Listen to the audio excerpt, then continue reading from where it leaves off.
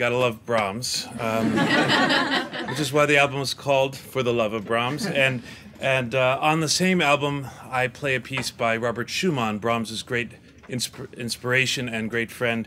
And we'd like to play for you now um, the Romance Number Two by Robert Schumann.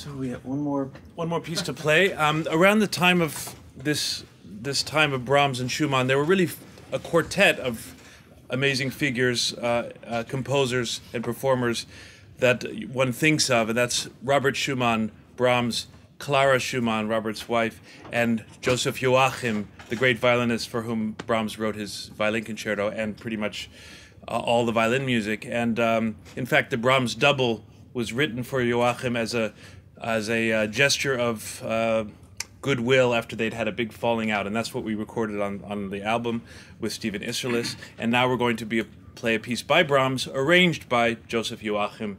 This is the Brahms Hungarian Dance Number One.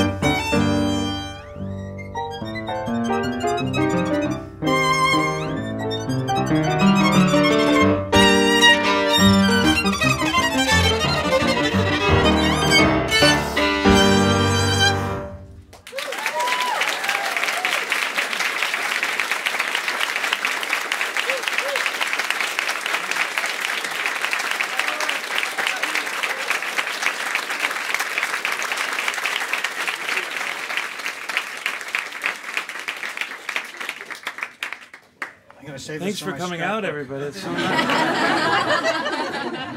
Thanks. Thank you. Thank Brahms rocks. Better than L'Enfant Plaza.